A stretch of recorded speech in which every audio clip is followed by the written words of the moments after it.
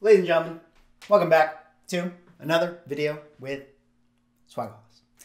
And in this video, as you guys can see, we are on the other side of my room, which, as you guys know by now, that means we have ourselves another whiteboard video here on the channel.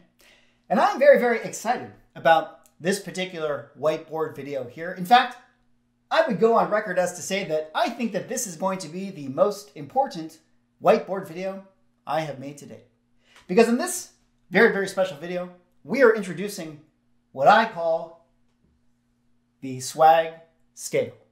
The swag scale. Now, I've been working on this particular rating system for a long time. I have worked with top men from all over the comic book collecting hobby to come up with a rating, come up with a score, somewhat akin to the Morningstar score or on base percentage in the Moneyball sort of way for baseball that we could apply to comic books and give it a number to kind of ensure us how protected we might be if we want to invest in said comic book. So in this video, I'm going to take you guys through the various categories that come up with this number to give ourselves the rating of the swag scale. And then later on, I will pull some books and give you guys some examples of how to rate those books and we will find out together what those scores are for those particular keys. Then you can take the swag scale and apply it to any book that you have in your collection. And so from here on out, I will be using the swag scale on the YouTube channel to rate certain books. This is highly scientific. There is no subjectivity in this. This is 100% foolproof. In fact, in the history of the swag scale, the Swaggle scale has predicted a thousand percent returns, guaranteed for every single comic book that is rated high on the swag scale.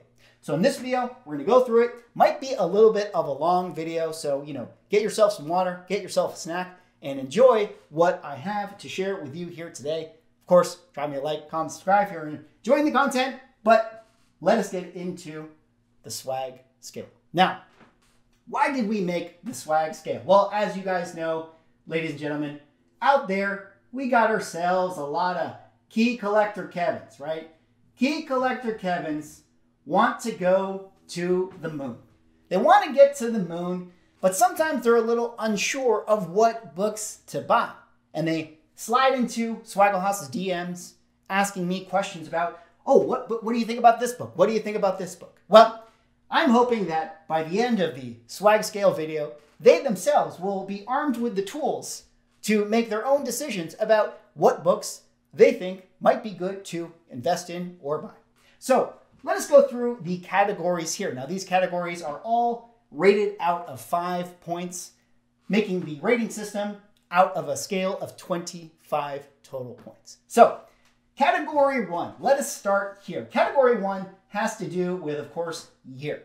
What year did this comic book come out? Now, as you guys can see, I have it broken down into certain windows of comic books being released. The first one here, 1937 to 1954. Now, why do we pick this particular window? Well, as we know, 1937 is around the time when comic books, as we know them today, started to take some kind of shape. And 1954 is roughly around the last year before the Comics Code of Authority ruined everyone in comic books. So, if you are a book that came out in that particular window, you get a score of five points on the Swagglehaus scale.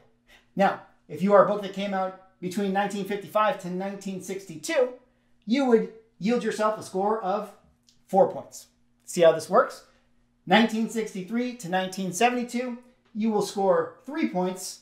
1973 to 1976, you will score two points. And if you're a book that came out in 1977 to the present, you will score one points. Now, you might be wondering, why do these years have specific tiers and why do we have certain cutoffs where they are? Well, without getting too long-winded into it, of course, 1962, that was right around when the 10 cent mark started to turn over to 12 cents. So there is cause of rarity in that situation. 1972, of course, we're talking about the start of the Bronze Age, you know, the change when things like Overstreet came into play, where there was all of a sudden speculation in comic books.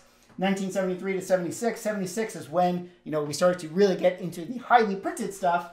And of course, 1977 to present is where we are today. Now, that is year.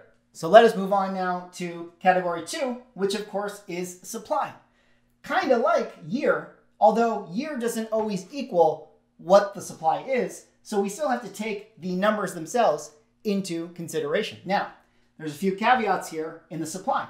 We are going off of what we generally know, and I, particularly on the swag scale, which is 100% foolproof, is only basing my numbers off of what the CGC census is telling us. Now, I realize that there might be more raw copies out there, and I realize that there might be certain books, specifically that of modern books, that aren't often as slabbed as other keys out there.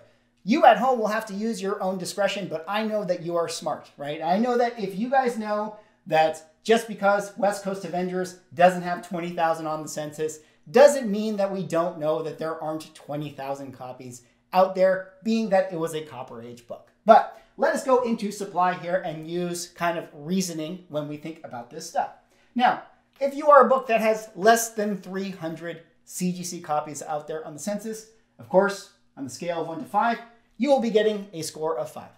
If you are a book that has less than 700 CGC copies out there on census, you will get a score of 4. If you are a book that has less than 4,000, you will get a score of 3. Less than 8,000, a score of 2 and less than 20,000, a score of 1. Yes, that is right. ASM 300 in this particular category gets zero points because it has a score above 20,000. Now, let's go on now to category number three. Category number three is what I call popularity, tier of character out there in the cultural space. How popular is this character? This category is where the MCU has an effect, right? We have five different categories to rate these comic books, and yes, movies and pop culture affects one of the categories, and that is character popularity. Now, I have right here in parentheses Ranker. What is Ranker? Ranker is a website that has a lot of different lists that people rank.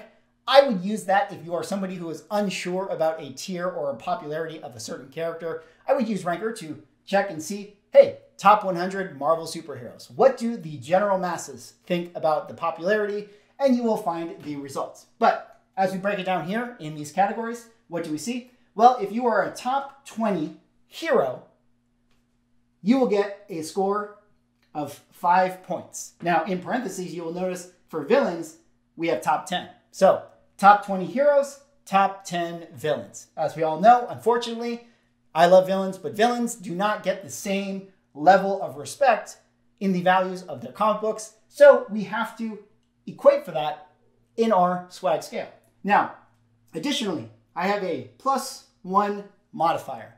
Plus one modifier. We will talk about this plus one mod modifier later on when we get to certain examples here. But just know that if you are a character who is not only in the top 20, but you are of that level of character that is so popular on the swag scale, I might give you a plus one. We're talking about Spider Man, Superman, Batman, Darkhawk. Characters like that. Now, if you are a top 40 character or your top 20 villain, you will get a score of four points. If you are a top 60 or top 30, a score of three. Top 100, top 50, a score of two.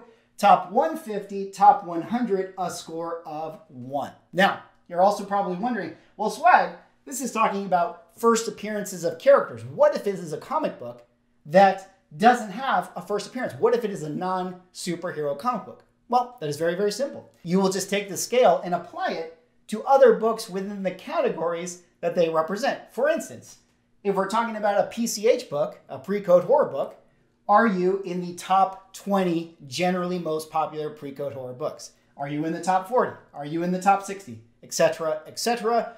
Takes a little bit of discretion, but you guys are smart. I know you will figure it out. And later on, when we do our examples, I will show you guys a pre-code horror book. Now, category four. This one is the most important, and there's going to be a lot of hurt feelings in this category. I certainly know that later on, when I show you guys some examples, I will have to swallow some of my pride and, you know, eat my words. But in category four, we are talking about historical demand historical demand, a very, very imp- important category, and almost the category that counterbalances the popularity category. This is the one where, besides the MCU, besides all of this pop cultural stuff, when it comes down to pure holders, pure collectors, what has been the historical demand for these characters, for these books? Here we are in these five different categories. Does everybody want this book? If everybody wants this book, well, they get five points. Do most people want this book? Well, if most people want it, they get four points. Do many people want this book? Three points.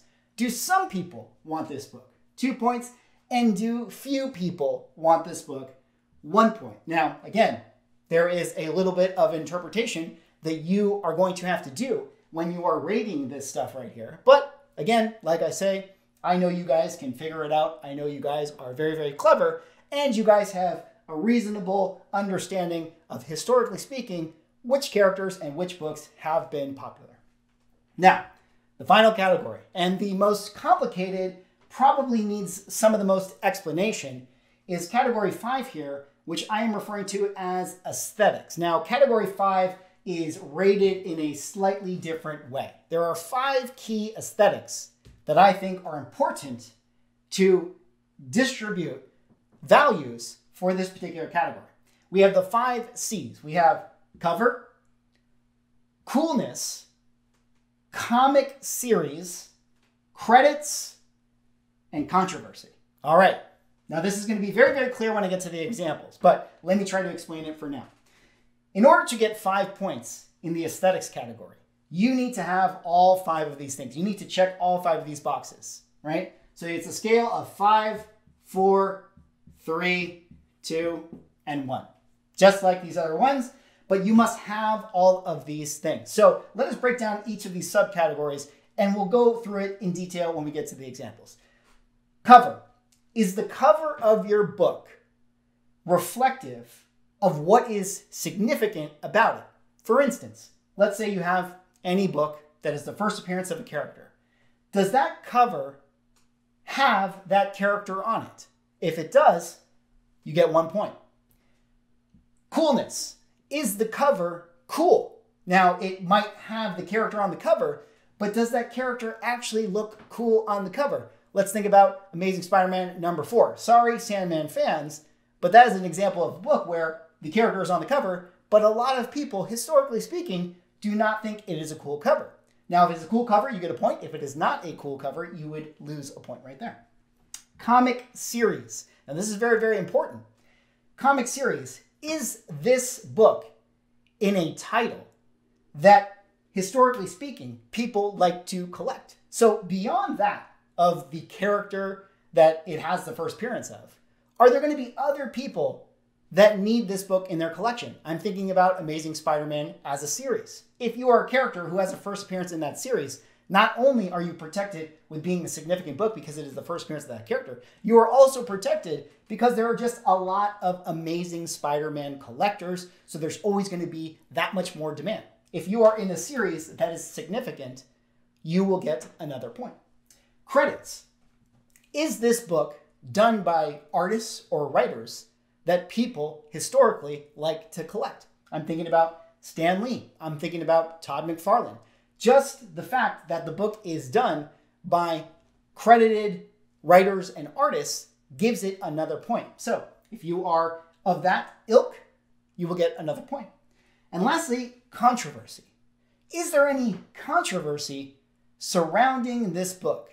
Now, if it does have controversy, you will not get a point. If it doesn't have controversy, you will get a point. Now, what do I mean by controversy? Well, the most classic example is Hulk 180 and Hulk 181. So in this particular category, it might, they might be on the cover 181 Wolverine.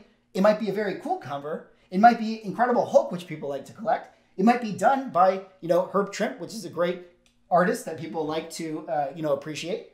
But controversy.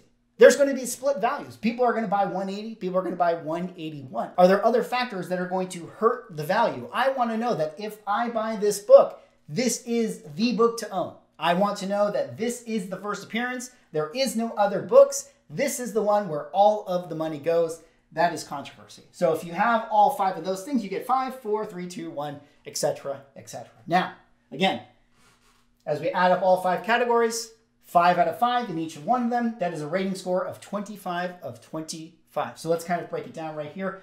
26. Now you're probably wondering, how could you possibly get a 26 out of 25? Well, we have this plus one modifier, which again, I will be explaining that soon. But if you do get a 26, you will get a gold star. If you're between 21 to 25, you are a blue chip. If you are 19 to 20, you are certified key. If you are 17 to 18, you are low risk. If you are 16, you have some risk. If you are 15, I call you speculative. If you are 14 to 10, I call you highly speculative. And if you are 9 to 0, unfortunately, you are not investable. All right. So now that we understand these categories on the swag scale, let's go through a few examples of books so that we can understand how these ratings come into play. Now, luckily for you guys, I happen to have all of the biggest and best keys out there in the market. So I can show you guys not only the low ends of the scale, but certainly the high ends of the scale. And luckily for you guys, for the very first time, I'm sharing you guys with you guys my comic, Action Comics number one. This is the copy that I have, the most valuable comic book in all of the market. Of course, you guys know that this is the very first appearance of Superman. So let us kind of break down Action Comics number one here take us through the scale. And in example number one, let's see if we can come up with the score. So, what year did Action Comics number one come out? Of course, it came out in 1938. So we know that it gets a score of five points right there. Now, we go to supply.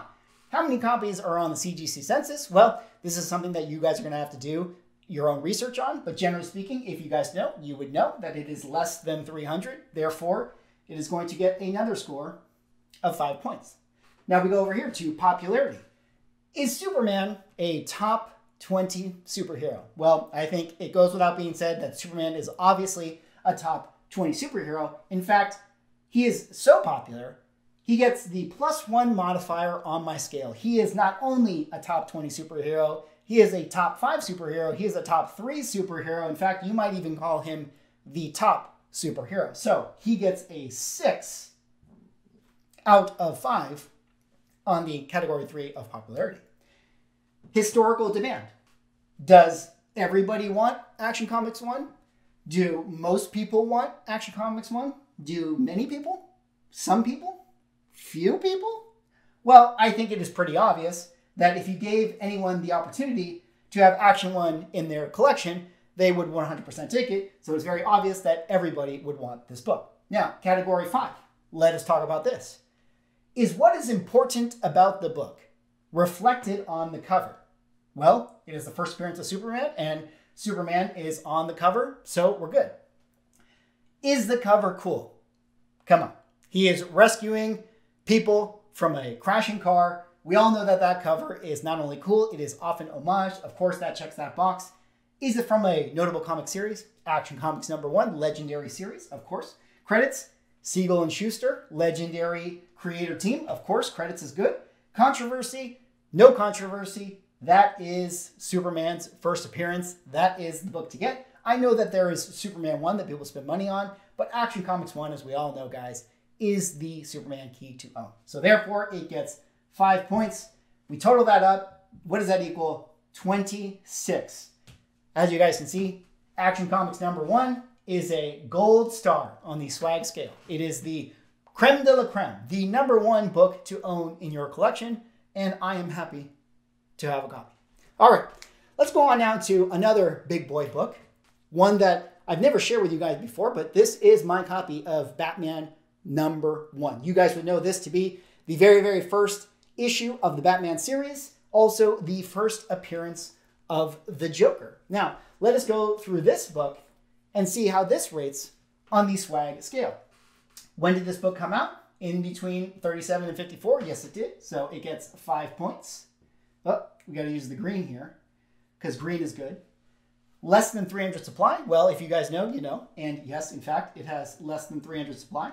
Top 20 hero or top 10 villain? Well, the Joker, I would definitely call a top 10 villain. So he might actually get this plus one modifier because he is that popular. We'll see though, but for now, we're going to give him a five with a potential plus one. Would everyone want this book? Yes, I think it goes without being said that everybody would want this book. is what is reflected in terms of what is important about the book reflected on the cover? Well, actually, not necessarily. The Joker is not on the cover. So all of a sudden, we have a little flaw in this so far perfect book right here. So I would not give this a point. Is the cover still cool though? Well, of course, it is an amazing cover, often homage with Batman and Robin swinging. So that's one point. Is it in a comic series? Batman, obviously. Finger and Kane credits, obviously great controversy. Well, it is the first appearance of the Joker. That is where it is. You could make a little bit of an argument that there is some controversy with, you know, the in-story side of it. So you, if you were really harsh, you could dock this book another point right here. So you may want to walk out with a three rating. But I'm going to give it a four simply due to the fact that he's not on the cover. What do we add this to be? Well, this, of course, is going to be a rating of 24. And then if we wanted to give it the plus one modifier, we could do that, or we could keep it to 24. But no matter how you slice it, this falls in the 21 to 25 category, which makes it a blue chip key, if you ask me. All right, let's go on now to another interesting book, another grail that I have in my collection. Of course, we have to rate Amazing Fantasy 15 right here. The first appearance of Spider Man. Now, this is a Silver Age book, so let us find out how the ratings start to change once you get into the Silver Age versus the Golden Age right here. And let us go through the swag scale together. All right. What year did this book come out? Well, you guys remember that it came out in 1962, just in that cutoff year window to give it four points on the swag scale. Now, category two, supply. How many copies are there? Well, there isn't less than 300. There's not less than 700. We're talking about less than 4,000. That's kind of where this book rates on the scale. So now it gets a number of three right here. Let's go to category three, popularity. He is Spider-Man, of course, a top 20 superhero, certainly a top five, certainly a top three maybe top one. Definitely qualifies with the modifier if you ask me. So I will give him a five plus one. Category four, historical demand. Would everybody want this book? I think that goes without being said. Of course, everybody would want that book. Is what is important about the book reflected on the cover? Yes, absolutely. Is the cover cool? It's iconic. Is it a comic series that is notable? Mm, you could make the argument that Amazing Fantasy isn't really that notable, although the book itself is so notable that Amazing Fantasy is also notable. So, in my personal opinion, I'm going to check that box. Credits, of course, Stan Lee and Ditko. Controversy, no controversy. This is the book to own for Spider Man. We will give him another five right there. And we will add that up 5, 10, 15, plus 4 is 19, plus that is 22, plus a potential plus 1 modifier that would make this book either a 22 or a 23 on the swag scale. Again, still putting it in the blue chip category. Now, not as safe of an investment, generally speaking, as say Batman 1 or Action Comics 1, but still a very, very safe book to buy. All right, let's move on now to example number four. Of course, my copy of Incredible Hulk number one right here. The amazing, amazing first appearance of the Incredible Hulk. And let's talk about some of the interesting ways to take a look at that one and rate that book right there. So, first things first, what year did it come out? Like Amazing Fantasy 15, came out in 1962. We will give this four points. What is the supply for this particular book? Well, it is a lower supply, but not quite at the 700 level. So we're going to give it the less than 4,000 supply, which gives it a rating of three. Is Hulk a top 20 superhero? Absolutely. He is a top 20 superhero. Does he get a plus one modifier? I would not say that he does. I think the plus one modifier is for a very, very select group of superheroes and villains, and I would not give Hulk that plus one modifier. Historical demand would everyone want this book, or would most people want this book? Well, I think, generally speaking, everybody would want this book. Although, if you're playing at home, you may think that most people would want it. Maybe it is not an everyone book. I don't know. My personal opinion, I still think that this hits the everyone category. Now, category five is a little bit interesting. Is what is important about the book, the first appearance of Hulk, reflected on the cover? Yes, in fact, he is on the cover. Is the cover cool? Absolutely. Is it in a comic series that people like to collect? Incredible Hulk. I think that that definitely is the case. Are the credits there? Yep, Stan Lee and Jack Kirby. Controversy. Is there any controversy with this book? Well, on the one hand, you might say that no, this is the first appearance of the character, but here's where the swag scale gets a little bit interesting. Hulk is not green on the cover. He doesn't get green until issue number two. So, in my personal opinion, that hurts this book ever so slightly. So, I would say some controversy there because there are people who are going to want to put money into Incredible Hulk number two, and that money is left out of Incredible Hulk number one simply due to the fact that people recognize Incredible Hulk number two as also a key because of the fact that he is green. So I would say that there is a slight controversy in his first appearance right there. So let us go through and total up these numbers on our screen 5, 10, 18, 19, 20, 21. Incredible Hulk number one gets a score of 21 on the Swagglehaus scale, just keeping it in the blue chip investable category. All right, next book we got to talk about right here is one that is very, very interesting. And this is where the scale starts to kind of apply some different results to interesting books out there in the market. We have to talk about Tales to Astonish number 13. Of course, you guys know this book, the very, very first appearance of the character known as Groot. And this one is very interesting to talk about because it finds itself in a lot of different windows that we haven't discussed just yet. Now, let's talk about the year in which this book came out. I can't remember off the top of my head. It's a long day, it's a long video, uh, but I do know that it came out before 1962 and it came out after 1955. So we will give this book a 4 on the year scale. Now let's talk about supply. This one is also very interesting. This is in that era of post-code monsters. So there's less books out there in the market than that of the superhero stuff but not quite as few as some of that Golden Age stuff. This is one of those instances where we're talking about a supply around the less than 700 category, which gives this book a score of 4 on the supply. Now let's talk about character popularity. This is an interesting one because Groot, I would make the argument, is now a top 20 superhero. He is that notable in pop culture. He has felt the effects of the MCU boosting him up. There are that many kids that love this character. So he is now in that top 20. So his popularity score or MCU score boosts him all the way up to five points right there. Now let's talk about category four historical demand. Now, if you guys remember, before the MCU, this was a book that nobody cared about. This is a book that nobody even knew existed. This is a character that nobody even knew came from Tales to Astonish. So, in the historical demand of this book, where would we put this one? Well, certainly not everyone, definitely not most, probably not many, maybe some. In fact, I'm going to be a little more harsh and I'm going to say before the movies, I would say very few people have ever wanted this book. So that one gets a score of one for me because although it's a cool book that people would like to have, outside of the MCU aspect, historically speaking, do a lot of people want this thing? I don't really know. So it gets a one on the swag scale. Now let's go to category five here. Is what is important about the book reflected on the cover? Well, absolutely. There we see Groot right there.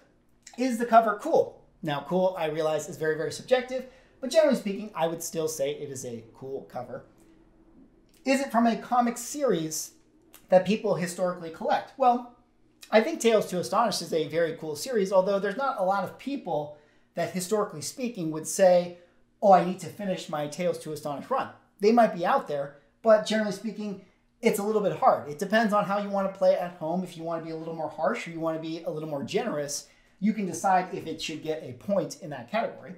Credits, of course, it is still done by Legendary Kirby. And controversy right there, nope, there is no controversy. That is the first appearance of the character. That is the one to get if you are a fan of Groot. So depending on how you feel, I think that this one scores a 4. So let's add this up. 4, 8, 12, 17, 18, right?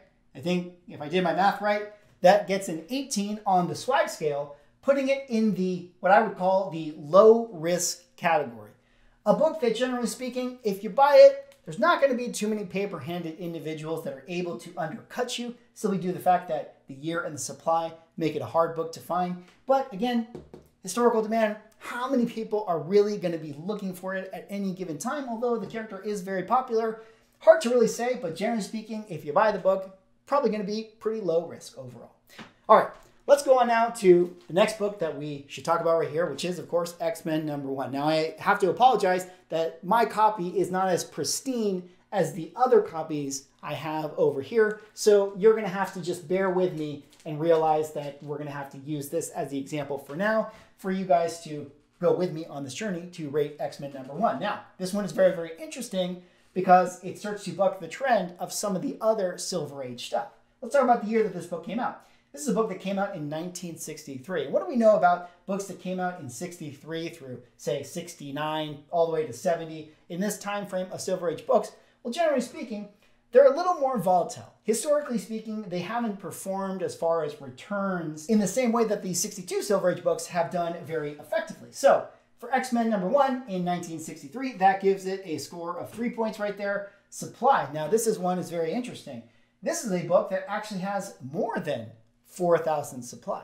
X Men number one, a great book, one of the best Silver Age books, but unfortunately for it, it only gets a score of two in the supply, simply due to the fact that it is above 4,000. So that hurts the investability of the book.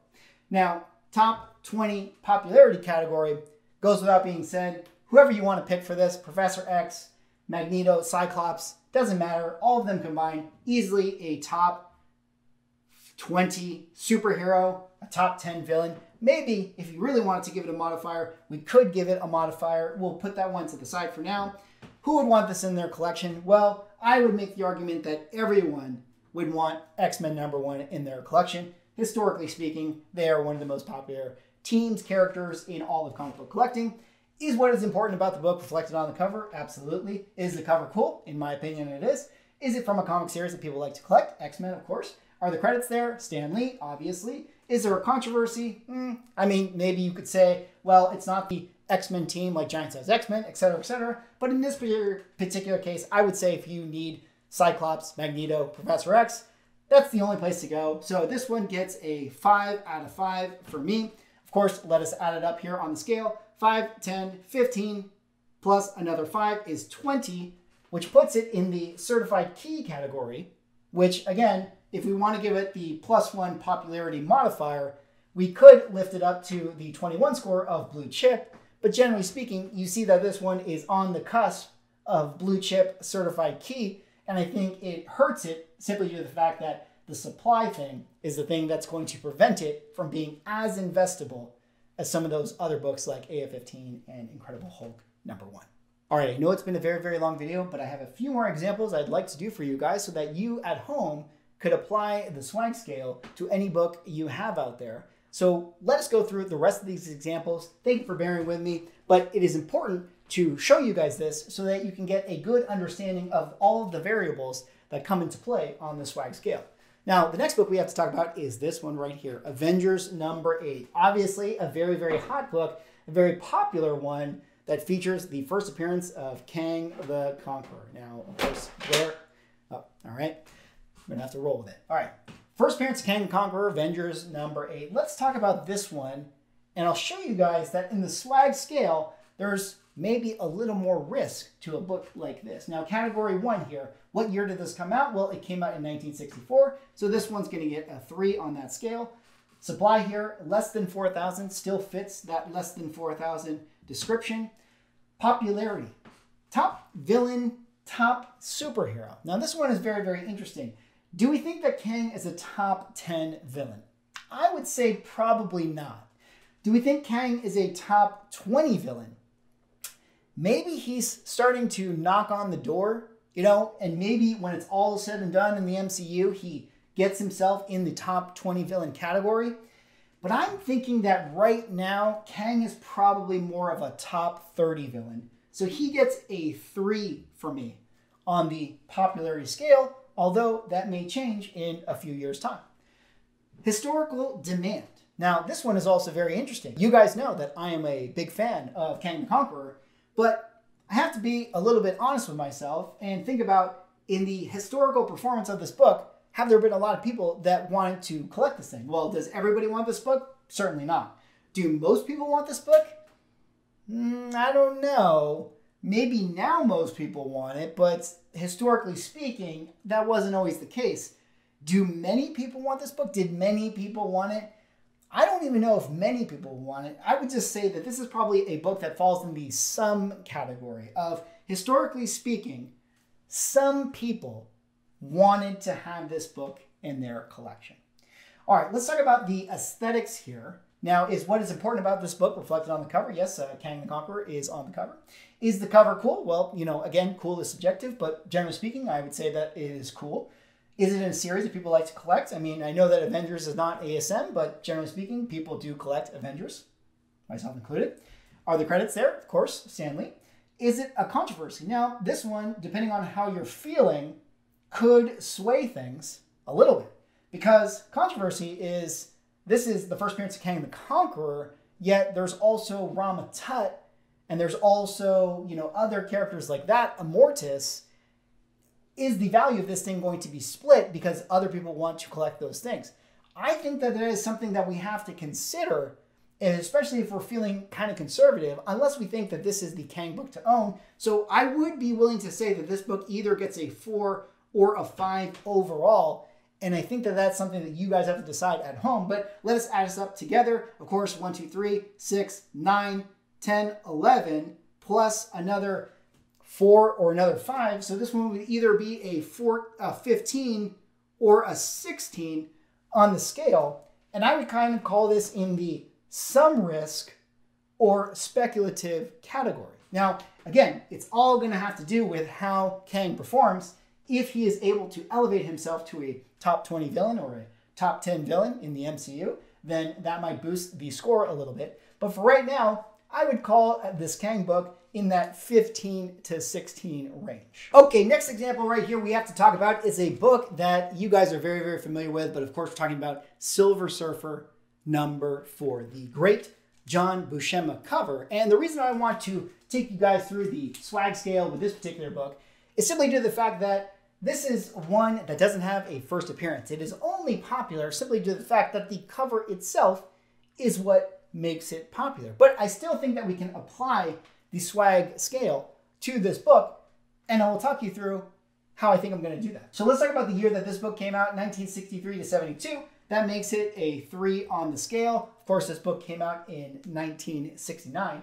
Supply here, now there's actually more than 4,000 copies of this one on the census. Of course, as we start to get later on in the years, 1969, there are more books available out there. So I get this one at the less than 8,000 range, and that gives this book a score of two, which definitely kind of hurts it. Now, popularity. This one is a little bit hard to determine. You're to have to use your own judgment here. But generally speaking, would we call this a top 20 collector's cover? Meaning, of just the great covers that people like to buy just for cover reasons, is this in the top 20? Yeah, I actually think that this is. I think most people describe this book as one of the top Silver Age covers to own. So I would give this one a five when applying the popularity factor to it. Historical demand. Does everyone want this book? Mm, it's pretty close. A lot of people would want it. Do most people want this book? I would say that that's probably more accurate. While I don't think that everyone would want it, I would say that most comic collectors would want to have a copy of that book in their collection. Now, is what is cool about this book reflected on the cover? Well, the cover itself is what is important about the book. Therefore, I would give it a benefit or I would give it a point in that situation. Is the cover cool? Absolutely. Is it from a comic series that people typically like to collect? Yeah, Silver Surfer, I think so. Are the credits there? John Buscema, absolutely. Controversy. Well, this is where I'm going to have to dock it. It is not a first appearance. There is nothing significant about the book other than the fact that it is just a cool cover. So for me, aesthetics, I'm giving this one a four out of five due to the controversy factor. So let us add it together. We have five points right here, plus another five is 10, plus four, plus four is 18. I put this one in the low risk investable category simply due to the fact that it is a classic John Buscema cover. Now, let us talk about the next book that we should discuss right here, which is a pre-code horror book. As you guys know, one that is recently added to the PC. And this, of course, is the Graveyard Feldstein cover. And I think that the swag scale can still apply to PCH books or other books that do not have first appearances. So let us go through it here together. First things first, we got to talk about the year. Of course, is the book that came out in the early 50s. So this one gets a 5 out of 5 in the year release. Supply here, less than 300. That is very good for this book. I think it is slightly higher on the PCH side of things, but at the same time, still less than 300. Category three here, popularity. In the scale of PCH books, where does this one rate? Is it in the top 20? I don't know if it's in the top 20. Is it in the top 40? Mm, I don't know if it's in the top 40 either. Is it in the top 60? Maybe, depending on the scale. Kind of hard to determine this, but for now, let's say that this book is either in the top 60 or top 100 PCH books, but let us give it a 3 on the scale for now. Now, category 4, historical demand. This one is very, very interesting. Does everyone want this book? Certainly not. Do most people want this book? I don't think most people want it either. PCH, although very cool, although very popular, is not for everybody. Do many people want this book? I'm not even going to say that many people would want it. I think that this is more of a some category. Now, I do realize that a lot of PCH collectors would want this book, but PCH collectors in the grand scheme of comic book collectors is also a very small portion. So I would say that some comic collectors in general would want this book in their collection. Now, let's talk about the cover. Is what is significant about the book reflected on the cover? Well, yes, it is because the cover itself is what people like. Is the cover cool? In my opinion, it is. Is it from a comic series that is significant? Tales from the Crypt? Absolutely. Are the credits there? Al Feldstein.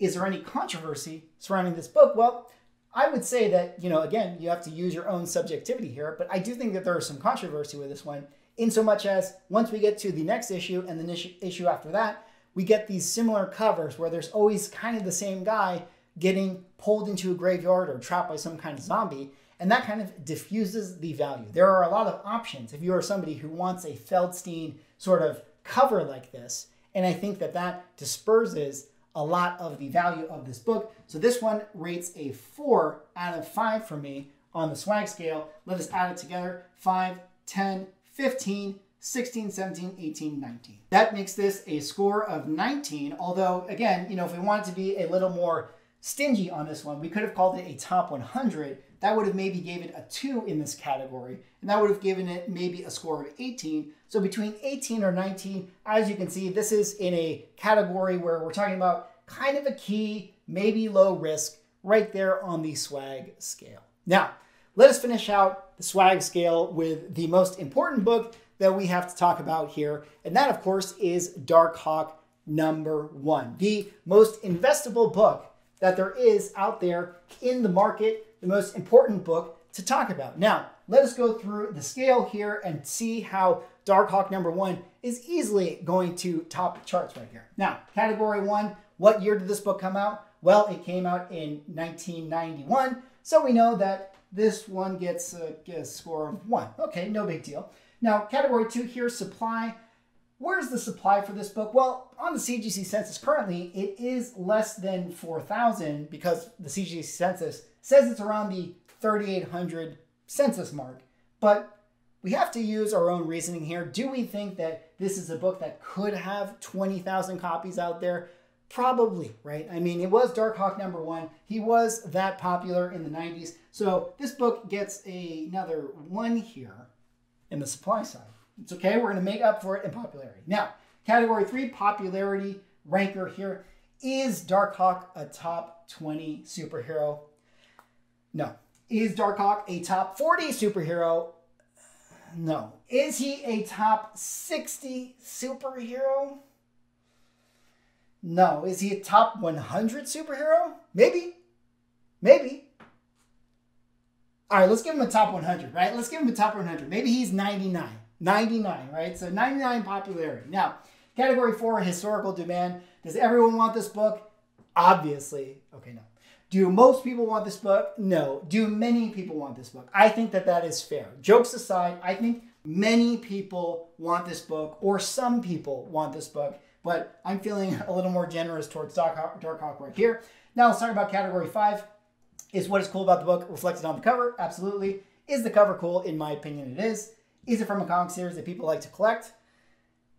Uh, next one. Is it by artists and writers that people historically like to collect as well? Uh, I love Fingeroth Manley, but I don't think we can say that. Is there controversy around this book? Um, well, I mean, there is that Marvel Age where he's technically on the cover, but that's, I guess that's controversy. So we're getting two out of five right there. So if we add it together for Darkhawk, we see that it's one, two, three, four, five, six, seven, eight, nine points on the swag scale, making this book a not investable. Not invest. Hey, that's that's bullshit. That is bullshit. Well, as you guys can see, the swag scale is complete bullshit. It is not accurate at all. Obviously, a scale that would rank Darkhawk as not investable is nothing that you guys should be paying attention to. So I guess if you made it to this point in the video, uh, you've wasted your time uh, analyzing these swag scale books right here. But I guess it was worth doing the exercise regardless. Anyways, that's all I got for this video. That was the swag scale. Let me know what you guys think. What books do you guys rate on your scale using the swag scale? Like, comment, subscribe. See you in the next one.